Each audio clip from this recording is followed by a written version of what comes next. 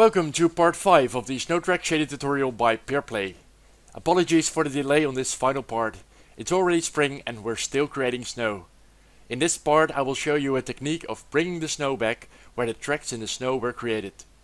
We'll be creating a new shader that creates random fragment points on which to draw new snow and apply that to our splat map using graphics.blit. We'll start by creating a new unlit shader. So go to create, shader, and we'll select the unlit shader. And let's call this snowfall. Now Unity already created a starting point for us, but we're going to remove all the fog everywhere. So make fog work, let's remove that. And scroll down and let's also remove uh, this line over here, which is about the fog. And we can remove this line as well. Now we need to create a random value. In C Sharp we can use the mathf.random function, but we can't use that in shaders. On the internet there has been a pseudo random generator function going around, and we will simply copy paste that in the shader. I will include this little code in the description so you can easily copy paste it. So scroll down and underneath the v2f we're going to create this function and I'll paste it. Let's uh, clean this up and we've got a float random. So I'm not entirely sure why these numbers are this specific number and maybe someone that does can explain this to me. First of all it's creating a dot product between the input vector and the magic numbers. I'll just call them magic numbers.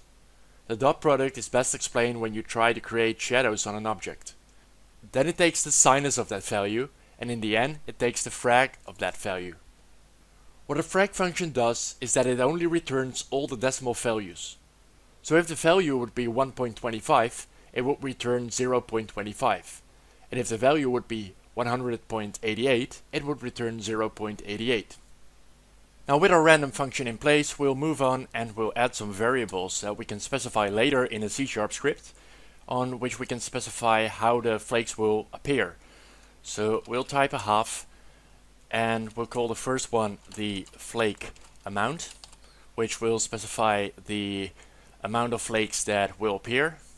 And also we'll add the flake opacity. And the flake opacity will specify the strength of each flake that falls on the ground. Now let's scroll down to the frag function and between these lines we'll create a new line. And we're going to create our equation here and we'll call this a float and I'll call this r value, random value and we're going to use the random function that we created. So rand and this requires a float3 so we'll type float3 and the float3 will contain on its x position the incoming uv coordinates. So we'll type i dot uv dot x. On the y parameter we'll use the i dot uv dot y. And on the z we'll just type 0 now to create our randomization, we'll multiply this by the time.x, which is the internal clock of the GPU. Now what we want to create is that the equation of r value returns either 0 or 1, and only the points that return 1 will be applied. And to do this, we can use the ceil function, and we'll type ceil around this. At this point, mostly, if not all values will return a number slightly above 0, which would make almost all points 1. And we need some control over this and let some numbers fall under 0.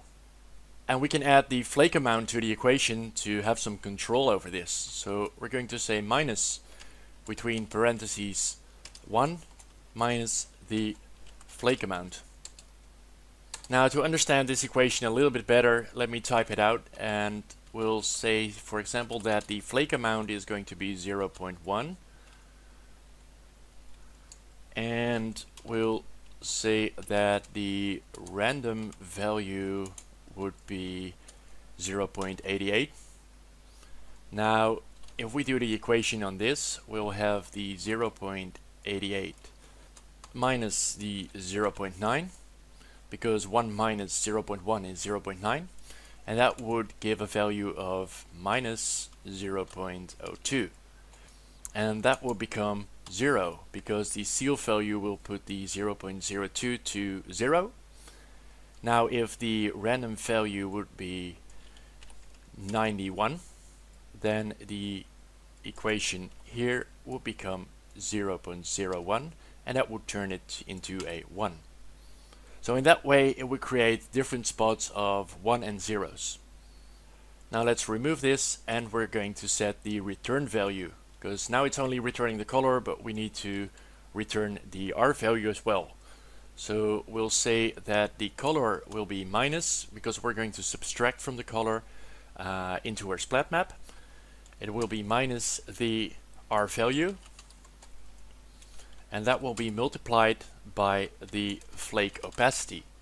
So it's outputting ones and zeros and where it's outputting the ones and zeros, if we multiply that amount by the flake opacity, and let's say that the flake opacity is 0.1, then it needs to fall 10 times on the ground to become its normal height again. So we'll put these in parentheses and just to make sure that the value is between 0 and 1, we're going to saturate the value, which is the clamp01 in C Sharp. Now I just noticed I made a typo in the equation, because this float value has to become a float 3. And with that in place, let's scroll back to the top, and we're going to change the unlit of the shader to hidden. So we don't need this visible in Unity. Now let's go to File and Save. Back in Unity, go to the plane on which the Snowtrack shader is, and we'll add a new script, and we'll call this the snow noise. And in this script, we will apply the shader we just created to the splat map of the Snowtrack shader. So let's start by creating a public shader, and we'll call this the snowfall shader we can then assign the snowfall shader we just created in the inspector. Now let's also create a private material and we'll call this the snowfall material. Now let's make a reference to the mesh renderer. So we'll say the mesh renderer is going to be mesh renderer and in the start function we're declaring that mesh renderer is going to be get component mesh renderer Now let's also specify the snowfall material. So we're going to say that snowfall material is going to be a new material based on the snowfall shader. Now we need to be able to set the flake amount and the flake opacity in our C-sharp script so we can easily adjust it. So we're going to add here a public float and we'll call this public float the flake amount. Now let's also create a public float for the flake opacity. And to make it easier for us, let's create a range for these values in the inspector. So we'll say range.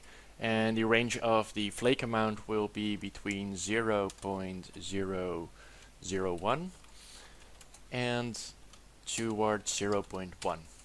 Doesn't have to be that big of a number.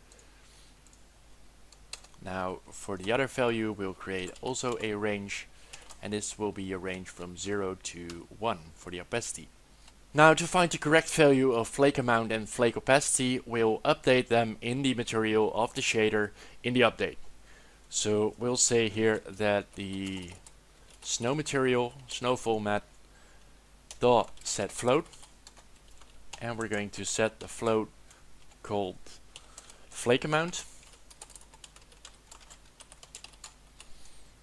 and we're going to set that to this flake amount and the same thing we'll do for the snowfall material dot set float for the flake opacity.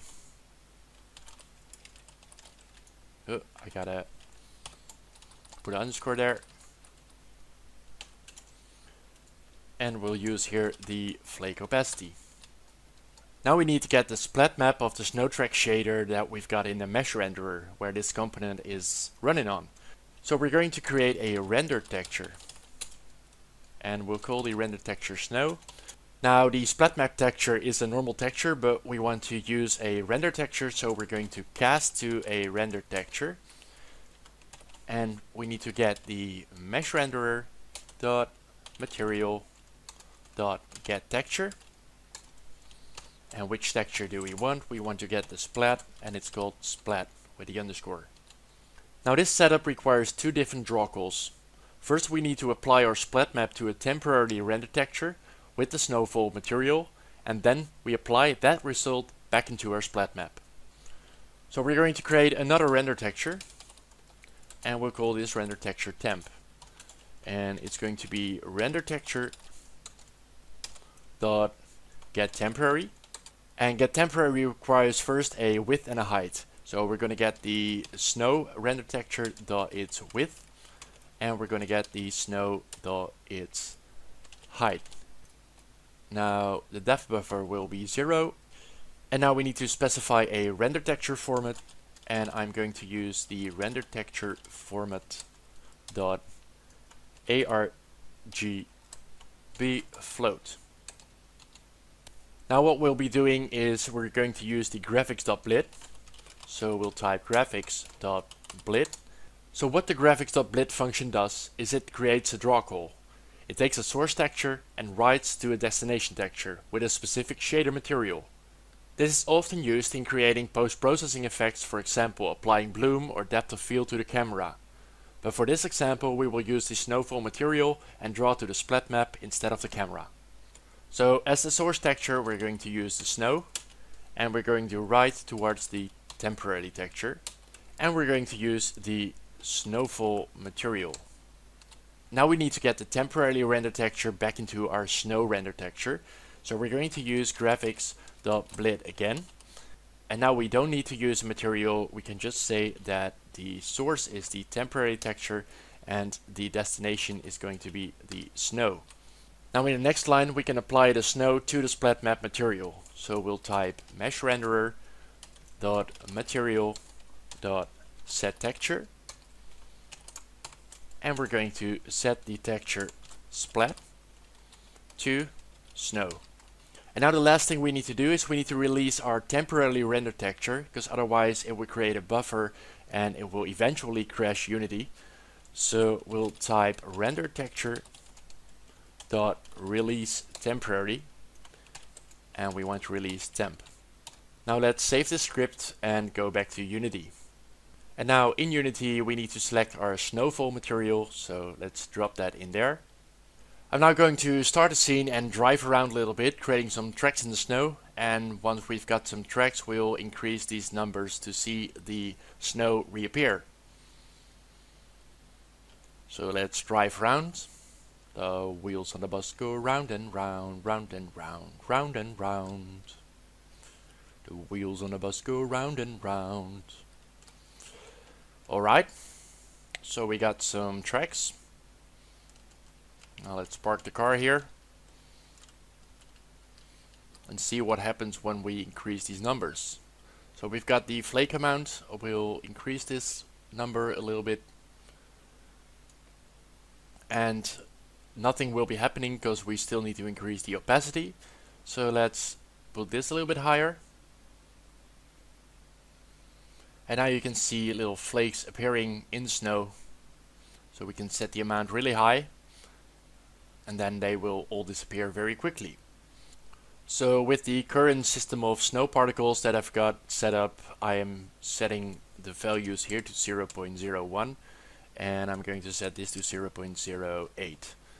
And yes, it is faking the reappearing of snow, but fake it till you make it. This is the end of the SnowTrack shader tutorial. I hope you liked this series and helped you in becoming better at writing shaders. If you learned something, hit the thumbs up or leave a comment. To support me creating these tutorials for free, you can choose to become a patron on my Patreon. As a thanks, you'll get access to all the source files of this and all other tutorials and extra content.